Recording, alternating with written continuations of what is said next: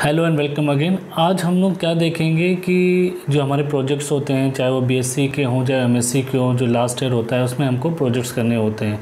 कुछ जगहों पे बीएससी में होता है और एमएससी में तो कंपलसरी होता है बट कुछ कुछ इंस्टीट्यूट्स में वो भी कंपलसरी नहीं होता है। बट प्रोजेक्ट जिस इंस्टीट्यूट में होता है तो वहाँ पर बहुत अच्छा रहता है एक्सपोजर मिलता है, आपको थोड़ा सा डिजर्टेशन उसको कहा जाता है तो उसके बारे में आपको पता चल जाता है। जब आप एम करने जाते हैं या पीएचडी करते हैं तो उससे आपको बहुत हेल्प मिलती है।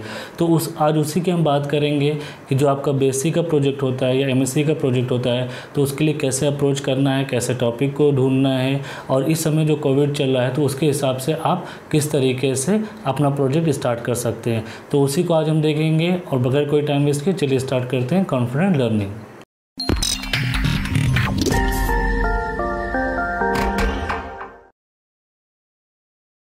आज हम देखेंगे कि जो हमारा पहला पॉइंट होना चाहिए किसी भी प्रोजेक्ट्स में, वो किसी भी प्रोजेक्ट को चूज़ करने के लिए वो क्या होना चाहिए कि जो आपके यहाँ पहले आप अपने इंस्टीट्यूट में देखिए कि प्रोसीजर क्या है। बीएससी वाले भी देखें उनके जो थर्ड ईयर है, उसमें प्रोजेक्ट है भी कि नहीं है? अगर है तो उसका क्या प्रोसेस है? इंस्टीट्यूट में अपने टीचर से पूछिए जाके। और एमएससी में तो बाकायदा टीचर से टॉपिक फ्लोट कर देते हैं कि इस इस टॉपिक पर टीचर काम कर रहे हैं और जिसको काम करना वो कर दे। कुछ इंस्टीट्यूट में रैंक वाइज दिया जाता है, जो उनके एमएससी में नंबर्स होते हैं, उसके हिसाब से उनको बताया जाता है कि कौन किसके अंडर में काम करेगा प्रेफरेंस होती है। इसी तरह आपका आई में भी जो एमएससी टेक करते हैं, उनके करते करते हैं तो उनके लिए भी यही परफॉर्म होता है। अगर हम बात करें इंस्टीट्यूट की तो ये आपको पता चल गया। उसके बाद आप उसमें कितना टाइम दे सकते हैं। जैसे अगर बीएससी में प्रोजेक्ट कर रहे हैं तो उसमें आप ज़्यादा टाइम नहीं दे सकते। बट एमएससी में एक या तो एक सेमेस्टर होता है, या पूरा पूरा एक साल दिया जाता है तो वो काफ़ी इंपॉर्टेंट होता है। तो ये भी डिपेंड करता है कि आप कितना टाइम दे सकते हैं। उसी के अकॉर्डिंगली आपकी रिपोर्ट होनी चाहिए। तीसरा क्या होना चाहिए कि आप क्या केस स्टडी चूज़ कर सकते हैं। ये सिर्फ़ हम आपका नॉर्मली आपको हम कोविड सिचुएशन के बाद बता रहे हैं क्योंकि कोविड सिचुएशन में कोई भी फ़ील्ड जाके, बाहर जाके, क्योंकि कोविड है तो कोई भी जाके साइट पे काम नहीं कर सकता है।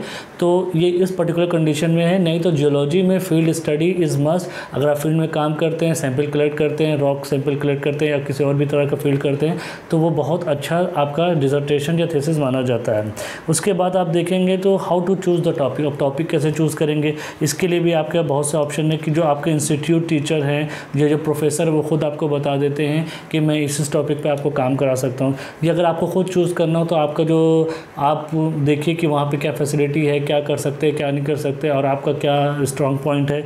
और सबसे लास्ट जो सबसे इंपॉर्टेंट पॉइंट होता है कि आपका इंटरेस्ट क्या है। चलिए कभी कभी क्या होता है, आप स्ट्रक्चर में काम करना चाहते हैं मगर पैलेंटोलॉजी में करना पड़ जा रहा है आपको, या फिर स्टेडिग्राफी में, या फिर मिनोलॉजी या इकनॉमी तो थोड़ा बैलेंस करके चलिए कि आपको वो इंटरेस्ट भी हो, और हो सके तो अगर आपके इंटरेस्ट वाला ही काम आपको मिल जाए तो वो ज़्यादा अच्छा रहता है. और टीचर से बात करिए बट मोर इम्पॉर्टेंटली जो सबसे ज़्यादा इंपॉर्टेंट पॉइंट होता है कि टीचर के साथ, जिस टीचर के साथ काम कर रहे हैं, वो उस टॉपिक पर काम कर रहा है कि नहीं कर रहा है, कि अगर आप इंडिविजुअली काम करने लगेंगे तो टीचर वो आपको कितना ध्यान दे पाएगा, फिर उस पर भी डिपेंड करता है. बट अल्टीमेटली आप ही को करना रहता है, आप ही को पूरा चीज़ें अरेंज करके देना रहता है, वो आपको गाइड करेंगे, वो आपका काम नहीं कर देंगे। आपको गाइड करेंगे कहाँ से मटेरियल मिलेगा, किस तरीके से अप्रोच करें, वो सारी चीज़ वो बताएँगे।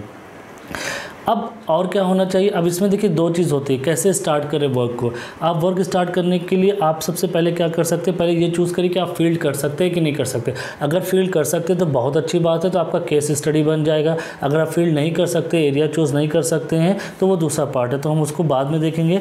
पहले हम ये देखते हैं कि जहाँ पर हम फ़ील्ड कर सकते हैं। अगर हम फ़ील्ड कर सकते हैं तो केस स्टडी हो गया। आप डेटा कलेक्ट करिए सैम्पलिंग कीजिए, उसकी लैब लेबोरेटरी में जाकर एक्सपेरिमेंट करिए, या फिर जो भी कर सकते हैं, जो आपने फ़ील्ड में किया, अगर मैपिंग कर रहे हैं तो मैप करके फिर मैप बनाइए। उसके बाद उसको रिफ़ाइन करिए, उसको अच्छे से रिपोर्ट फॉर्म में करिए, फिर उसको सबमिट करिए। ठीक है? उसके बाद अगर आप फिल नहीं कर सकते तो फिर क्या कर सकते हैं? आप इंटरनेट पे जाइए, एक टॉपिक चूज़ करिए। टॉपिक चूज़ करने के बाद इंटरनेट पे उसको सर्च करिए और उसके, उससे रिलेटेड रिसर्च गेट पे पेपर मिल जाएँगे या साइंस डायरेक्ट में जाके आप उसी तरह के सारे पेपर्स देखें। अगर आपको पेपर नहीं मिलता है तो अपने दोस्तों से बात करिए, अपने सर से बात करिए। कहीं ना कहीं से तो आपको पेपर मिल ही जाएगा। फिर उस पेपर को अपने समझिए और अपनी लैंग्वेज में लिखिए और फिर उसको सबमिट करने की कोशिश कीजिए। बट जब सबमिट करेंगे तो सबमिट में आपका क्या होना चाहिए? जो आपका डॉक फ़ाइल हो या भी कोई भी फ़ाइल हो जो आपकी रिपोर्ट होनी चाहिए, वो रिपोर्ट बहुत ही प्रोफेशनल होनी चाहिए। उसमें इंडेक्स होना चाहिए, उसमें टेबल ऑफ़ कंटेंट होना चाहिए, उसमें list of figure list of tables abbreviation सब कुछ होना चाहिए फॉर्मेटिंग अच्छी होनी चाहिए एज़ पर योर इंस्टीट्यूट नाम सब कुछ उसी के हिसाब से होना चाहिए तो आपकी एक अच्छी रिपोर्ट तैयार होगी। मैंने आपके लिए रेफरेंस के लिए डिस्क्रिप्शन में एक एक आप टेम्पलेट टाइप का रिपोर्ट रख दिया है, ताकि आपको थोड़ा सा आइडिया मिल सके कि इस तरह की रिपोर्ट होनी चाहिए, आपका फ्रंट फ़र्स्ट पेज कैसा होना चाहिए एक्नॉलेजमेंट ये सब, वो सारी चीज़ें, उसमें आपको डिस्क्रिप्शन में अगर आप जो वर्ड फ़ाइल देख रहे हैं, उसमें मिल जाएगा। अगर फिर भी आपको कोई दिक्कत आती है तो आप मुझे मेरे मेल आईडी पे कमेंट कर सकते हैं कि ये ये दिक्कतें आ रही हैं, इसको कैसे रिजॉल्व करें। तो ये इस तरीके से आप अपना बीएससी या एमएससी का प्रोजेक्ट चूज़ कर सकते हैं। मेन इंपॉर्टेंट होता है टॉपिक टॉपिक चूज़ करने के बाद इंटरनेट पर सर्च करके, जिसको लिटरेचर सर्वे कहते हैं, अपने हिसाब से लिटरेचर सर्वे करके अपने वर्ड्स में उसको फ्रेम करने की कोशिश करिए। सिर्फ़ कॉपी पेस्ट मत करिए कॉपी पेस्ट से आपका भला नहीं होगा। तो इस वीडियो में इतना ही। बाकी और वीडियोस को लेके आने वाले बहुत जल्दी। और जैसे कि मैंने बताया कि कोर्स के वीडियो स्टार्ट होने वाले हैं, उसमें थोड़ा टाइम लगेगा। उसके हिसाब से ही हम लोग काम करेंगे। तो अभी तक के लिए इतना ही। फिर मिलते हैं नेक्स्ट वीडियो में। Thank you. Bye bye.